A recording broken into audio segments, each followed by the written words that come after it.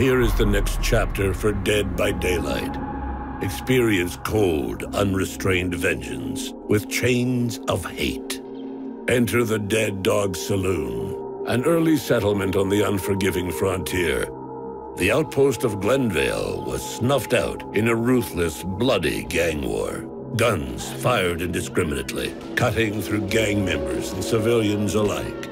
When the dust settled, the dead outnumbered the living. By nightfall, only the crows remained, feasting gluttonously upon their victory.